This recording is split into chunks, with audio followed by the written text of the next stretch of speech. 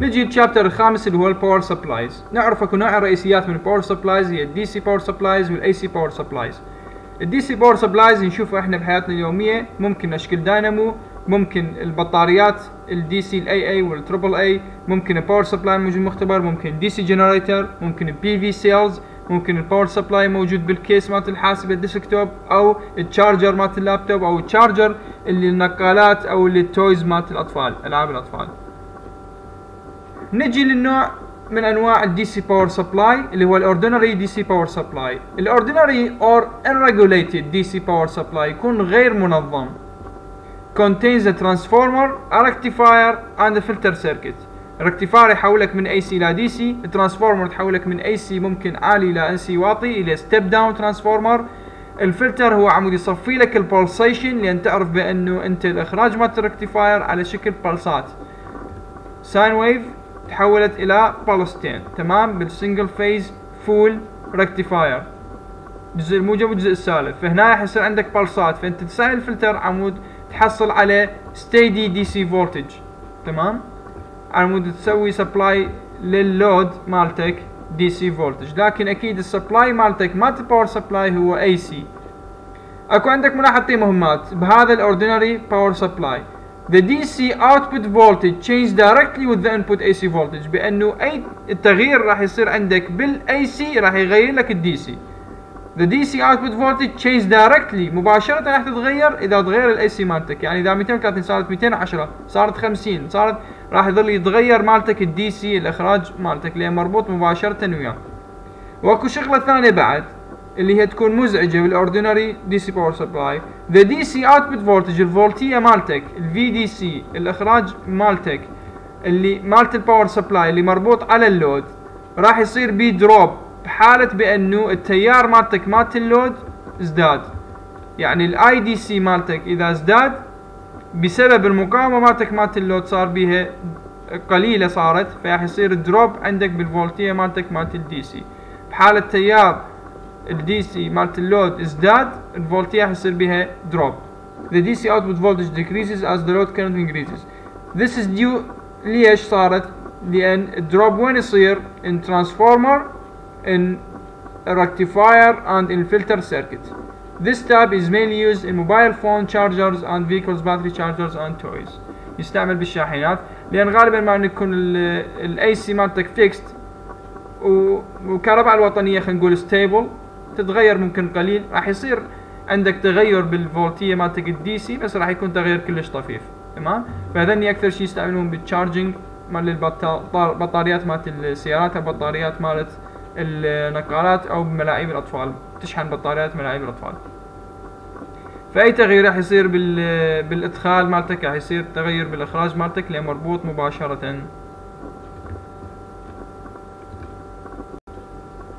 The DC voltage available across the output terminal of a given power supply depends upon the current. مثل ما قلنا بأنه الفولتية ال DC تعتمد على التيار بأنه التيار إذا كان عالي راح يصير voltage drop بال power supply فراح تكون الفولتية ال DC قليلة. وهذا يعتمد أكيد على المقاومة. If the load current IDC is increased by decreasing RL إذا قللت ال RL التيار مالتك ال IDC راح يصير increased راح يزداد. There is a greater voltage drop in the power supply راح يصير voltage drop بال power supply and hence smaller DC output voltage will be available الفولتية DC مالتك راح تكون قليلة اللي تكون supplied لللود Reverse will happen if the load current decreases أكيد إذا التيار مالتك قل بزيادة المقاومة التيار راح يقل فالفولتية راح تكون عالية Therefore, there has to be something called a voltage regulator. لازم يكون منظم جهد.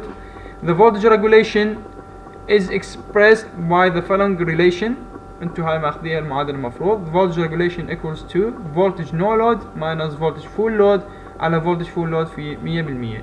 ف no load من ماكو حمل الفولتية من ماكو حمل ناقص الفولتية من الحمل كامل على الفولتية من الحمل كامل في المية في مية بالمية مكتوبات هناك DC voltage no load full load أكيد بأنه ال voltage regulator الزين أو ال power supply خلينا نقول اللي يكون زين المفروض ال V F load ما تقل هواي عن ال V no load يعني إذا V no load 12 ال V full load مثلا 19.8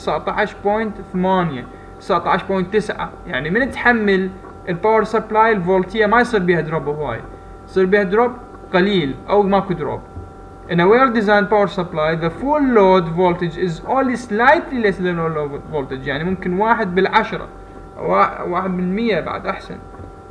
Voltage regulation approaches zero. أكيد بهاي الحالة voltage regulation شو راح يصير إذا ال VFL مو أقل بهواي من ال VNL فرضا point واحد ف point واحد على هاي في مية بالمية حيطلع. فد شي كلش قليل. واحد بالمية. شوف. Therefore, low, lower the voltage regulation, the lesser the difference between full load and no load voltage, and better is the power supply. Power supplies used in practice بالواقع الباور سبلايز الموجودة عندكم بالمختبرات have a voltage regulation of 1% تمام بس واحد بالمية الفولتج ريجوليشن مالتك يعني كلش ممتاز يعني في فول لود ما ينقص هواي من الفي نو لود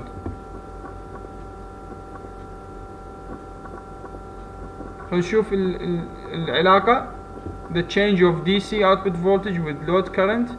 بأنه عندنا هذا ال VDC وهذا التيار ال IDC وهاي ال V no load وهاي ال V full load. فالتيار مالتك إيش قد ما يكون full load يكون مالتك التيار عالي. فأكيد إيش راح يصير عندك راح يصير أكو فرق بين ال full load وبين ال no load تمام؟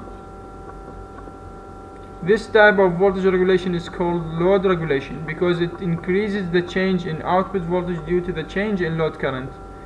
تمام فاذا ما دام المقدار ما التغير بالفولتيه قاعد يعتمد على التيار فاذا هو load regulation والتيار لان هو تيار اللود.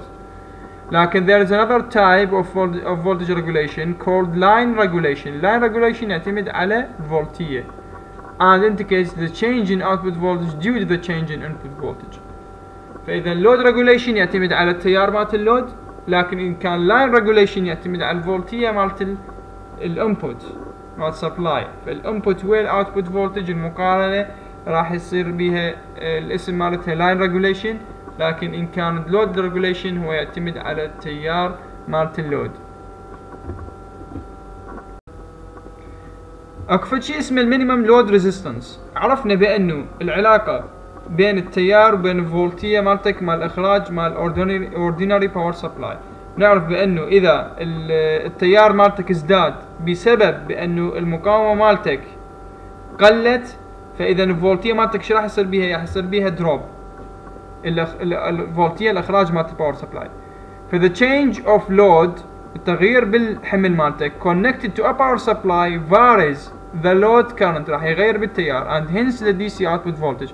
وراح يصير عندك دروب بالفولتيه in order that the power supply gives the rated output voltage and current اذا تريد يحصل على فولتيه rated اخراج rated وعلى تيار اخراج rated there is minimum load resistance allowed اللي هي هاي لازم اكو فد مقاومه minimum load resistance اسمها for instance if a power supply is required to deliver a full load current لازم يعطيك full load current ويعطيك full load voltage then ال R load minimum أقل مقاومة تحصل لك على V full load وتيار full load هي RL minimum V full load على I full load thus if the data sheet اللي جاي وين power supply عندك power supply مثلا والداتا شيت مالته يقول لك specifies that the power supply will give you an output voltage of 100 volt At maximum rated current of 0.4 rated current rated voltage اذا تحتاج RL minimum قيمتها قد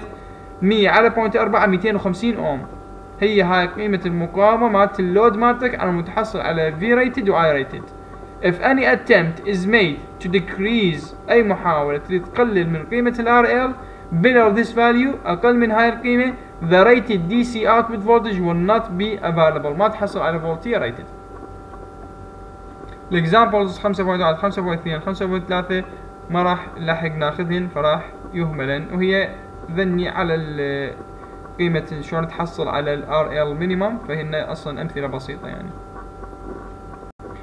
نجي لل regulated power supply عرفنا بانه اكو ordinary power supply لكن ordinary power supply يعطيك الفولتيه مالتك unregulated بانه غير منظمه ممكن اي تغيير يصير بالفولتيه مالت ال source أو يصير تغيير بالتيار مالت ال load راح يصير voltage drop عندك بال output مالت ال power supply لكن regulated power supply أقدر أضيف voltage regulator على الإخراج مالت ال ordinary power supply عمود ينظم لي الجهد عمود الفولتيه تبقى ثابتة وما تتأثر بال fluctuation اللي يصير بال AC input أو التغيير يصير بالتيار مالتك مالت اللود. وهذا الشيء مذكور هنا. a DC power supply which maintains the output voltage constant irrespective of AC mains fluctuations or load variations is known as a regulated DC power supply. A regulated power supply consists of ordinary power supply and voltage regulator device. تمام؟ The output voltage remains constant whether the load current changes ممكن يتغير تيار اللود ما راح يأثر. Or there are fluctuation in the input AC voltage. أو أكو تغيير يصير بال AC voltage راح يبقى الفولتج مالتي مالت الإخراج ثابت بحالة irregulated power supply.